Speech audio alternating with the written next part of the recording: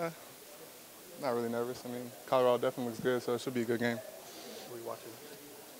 I'll be at the crib. I got my got my daughters this weekend, so be at the house. 3 0 start here with the defense. Kind of another fantastic performance. Is this about where you expected to be three games through? Um, yes, the goal get off to a good start.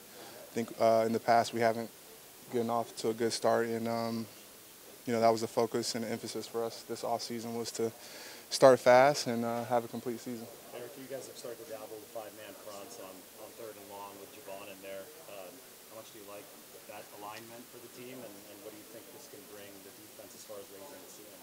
Uh, it's been great. Um, we uh, we've been trying to get that called for a few weeks now, and uh, we guilted uh, Wilks into it um, this week, and you know it was coming home, and you know we kept going back to it. So um, look forward to to you know bringing uh, another D lineman in the game.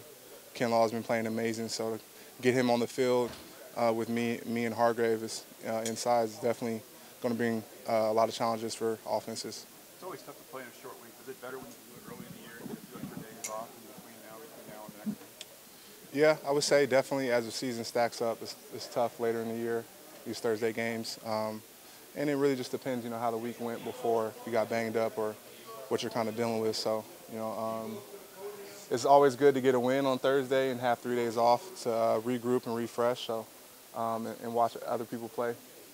Yeah, feel like this exciting, huh? You must be looking forward combination to is starting to gel a little bit. You got Javon fitting in. You got Kinlaw playing more this year. Nick back. yeah, you know, um, our goal is to be the, the best defensive line in, in the league, and um, you know we're taking it day by day, game by game, getting better.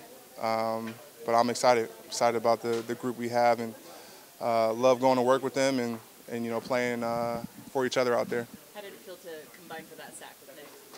Uh, I don't even get we don't even get credited for it because it was two point conversions. So, but you know it kept two points off the board. Um, it's uh, it's a it's a dumb rule uh, that the NFL has. I think that, that they should change.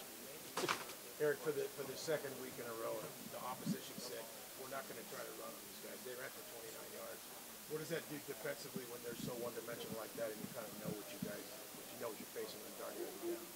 Yeah, the goal is to turn the team one dimensional. Um, you know, as a defense, we want to make them one dimensional, stop the run, obviously, and then uh, make it just a drop back pass game, and then go go and get after them, get them in third and longs, and um, bring the pressure. So that's always the goal each week, um, and you know that's what we're going to look forward to continuing to do. Like my former teammate Arden Key said, stop the run so you can have some fun.